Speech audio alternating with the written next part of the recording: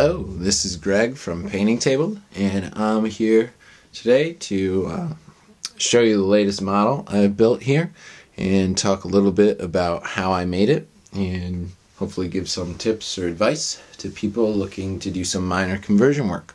So, what I've got is my Doombull, and if you've been listening to recent episodes of the podcast, you'll know that I've been playing my Beastmen recently and I've been trying out a Doombull with the Arabian carpet uh, which allows him to fly. And so I needed a model to represent this guy. And I thought for a long time about how to make the conversion and how to actually get him flying around on a carpet. Um, and as cool and sort of goofy as that would be, I decided to take mm, perhaps the easy way out um, and just give him some wings. Uh, but also, I think it makes him look a little more intimidating or imposing on the battlefield.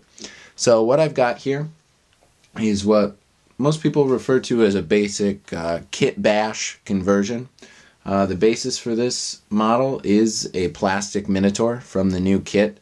Um, I decided to work with this as my base because all of the Minotaurs in my army are actually the old uh, GW metal Minotaurs, and so this guy is definitely more detailed, more muscular, um, more stocky, and he will stand out from the rest just fine. Uh, I, I also considered working with the new um, Finecast version of the Doombull, and after taking a look at that model, I decided against it. Um, mostly because I'm not giving him a great weapon. I'm giving him a, a, magic weapon and a shield.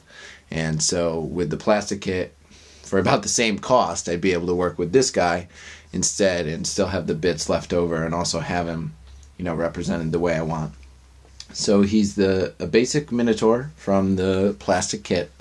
And then I added wings from the new Vargheist and Crypt Horrors box. Uh, again, if you've been following along with the show, you know that I decided to build the Crypt Horrors instead of the Vargheists, and I had all these wings left over. Decided to put them to good use.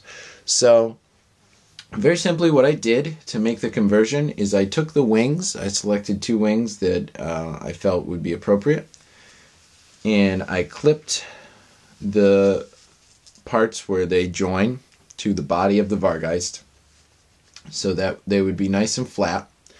And I glued them on to the back here in two different spots um, of the Minotaur, or the Doombull, I should say, and allowed it to dry. And then I covered up the gap with green stuff. So I used green stuff to make that look like a more smooth transition between the two. And I'll just zoom in a little bit here, hopefully give you a slightly better view so you can see what's going on. And once I did that, I I hadn't put the arms on yet, and I noticed that made it a little more difficult to get the arms into the proper positions. So I glued the arms on, and there there there were some gaps on the top, so I had to fill these in with green stuff as well. And these were really simple. I mean, the model, the part I was sculpting is just flat muscle.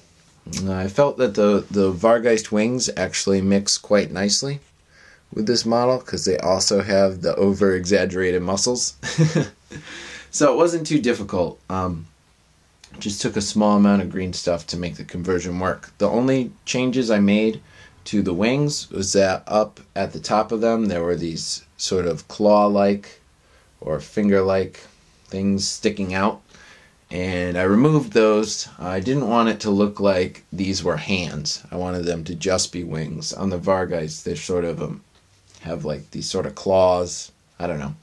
But the Doombull already has two arms and two hands. I didn't want to add any more than that. Um, originally I was going to go through the steps of how you do some basic gap filling and uh, smoothing over transitions with green stuff, but I decided basically that I couldn't do a better job explaining it than people already have. So at the end of this video, I'm going to have some links to uh, really good tutorials on some basic green stuff work and how to use it to fill in gaps. Um, filling in gaps is important when you're doing kit bash conversions like this. It can also be important when you're working with metal models where the pieces don't join properly. Uh, sometimes even with plastic models, pieces won't fit quite right. They leave a gap and you need to fill it in. So this is my Doombull. I'm really happy to have put him together. And hopefully he'll perform a little better in the games now that I won't be now that I won't be uh, proxying him with a river troll. And I'll keep you updated as I'm painting him and let you know how it's going. I might be painting him on the next episode of the cast. Uh, we'll see about that.